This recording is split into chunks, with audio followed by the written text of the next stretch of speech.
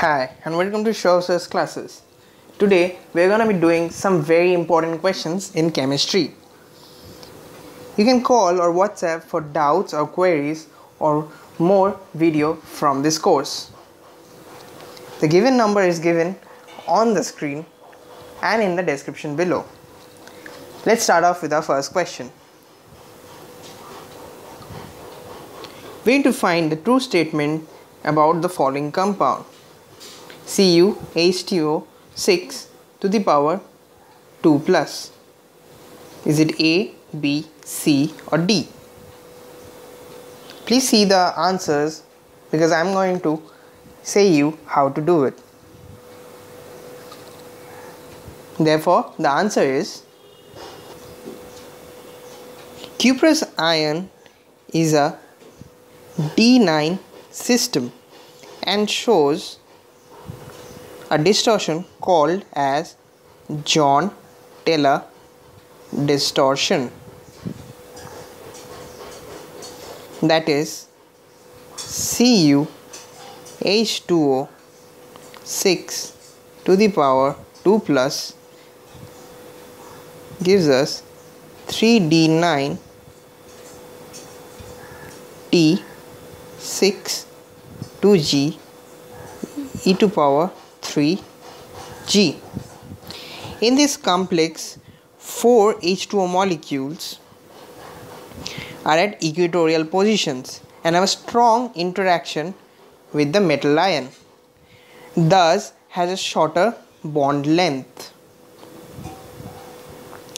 The other two H2O molecules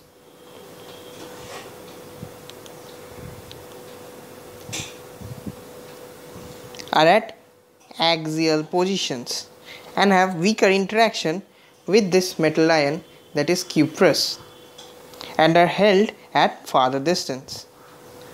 Thus, four CuO bond lengths are shorter than the remaining two uh, is this true statement. Now let's continue with a different question. Now we are given two complexes platinum cyanide ions and nickel chloride ions respectively. We need to find its magnetism. Let's write down the electronic configuration. Now the following is the electronic configuration of platinum. In the 5d8 orbital there are two cases where there are unpaired electrons the S shell and the P shell remains vacant. Let's see what happens in presence of a strong ligand cyanide. Thus in presence of cyanide there are two electrons that were unpaired previously gets paired up and we have a case of DsP2. Since there are no unpaired electrons this complex is diamagnetic. Notice number A and number C can be removed from here since we have already obtained that platinum cyanide anion is a diamagnetic. Thus, it will be either between B or D. Let's check out for nickel chloride. Now following is the case for nickel chloride. Notice the, there are unpaired electrons in nickel ion as well as NiCl4. This is because chlorine is a weak ligand. Thus, we have a sp3 kind of hybridization.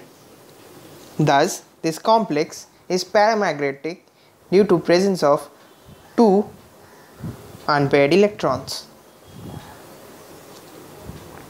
Now the value of x in Cu COX plus needs to be figured out such that it obeys the 18 electron rule. The 18 electron rule says that it must have 18 electrons in its valence shell. as there are already 10 electrons in the buff com compound of Cu plus ions that is 3d10 in the 3d10 orbital and each CO would contribute 2 electrons thus as per this 18 electron rule we have Cu plus plus x electrons from CO equals to 18 thus 10 plus 2x equals to 18 or x equals to 4 thus number C will be our answer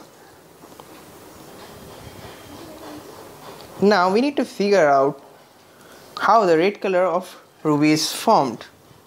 We are given four cases. Let's see what the correct answer will be.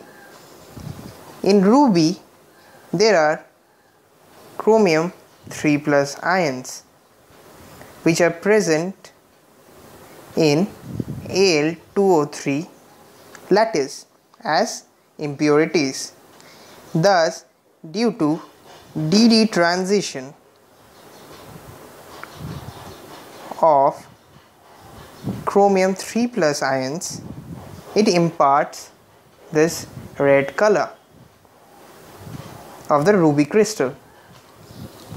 Now our answer will be number B. Now let us do a question on chemical reactions.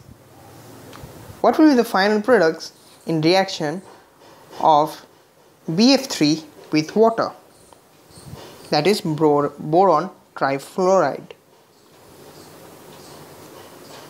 BF3 plus 3H2O gives us H3BO3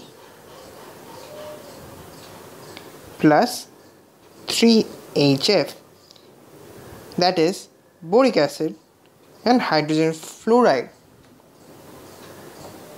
The HF formed must react with this boric acid. Let's see what happens. 4 HF plus H3BO3 gives us HBF4 plus 3H2O. The following two reactions can be summarized as shown below. Thus, the answer is number B. Now we need to find the maximum value of a function ae to the power minus ax square where capital A is greater than 0 and small a less than 0 and small a is greater than 0 at x. Let's see how to do this. In the given function that is a e to power minus ax square, first we check the value by putting x equals to 0. At x equals to 0, fx equals to a. For any other value, the value of x is always less than 1. This is due to the negative sign that's present on e. Thus, the maximum value of this function is at x equals to 0 that is a and hence the answer is 0. The electrochemical cell given to us has two half cell reactions containing of AgCl in solid form and copper also in solid form. The mass of copper in grams is dissolved on passing 0.5 amperes of current for 1 hour. We are also given the atomic mass of copper and F equals to 96500 C per mole. Let's see what the answer will be. Mass of copper is deposited in given as m equals to zit. We also know zit equals to ECE equals to E by F. Therefore, m equals to E by F IT, which equals to capital M by NF IT, where n equals to number of electrons liberated. We are also given the following op options M, F, I and T and also N. Now putting all these values in this equation we find M equals to 0.59 grams and from our answer number D is the correct answer. Now let's calculate an half-life period of the constant initial concentration of CO of the reactant at the zero order condition. Half-life period for an nth order reaction can be given as T half directly dependent on 1 by C naught n to power to the power n minus 1. Now for n equals to 0, T half is directly proportional to 1 by C naught to the power minus 1 or T half is directly proportional to C naught that is number A. Now in the next question we need to calculate the first ionization energy of an helium atom. We are given that the effective nuclear charge of helium atom is 1.7. Notice we need to do it in EV. The first ionization energy of helium atom containing 1s orbital can be given out in the following formula. IE1 equals to 13.6 Z square effective by Na square in EV. Putting in the values we get 39.304 EV and this coincides with number C. Now we have a question from gaseous theory. From the kinetic theory of gases, the ratio of most probable speed CMP to root mean square speed that is CRMS. Let's see how to do this. C most probable equals to 2 RT by M whole root over CRMS equals to root over 3 RT by M. Taking the ratio we find it comes to root 2 by 3. Thus, the answer is number B. With this, we come to an end of another amazing video.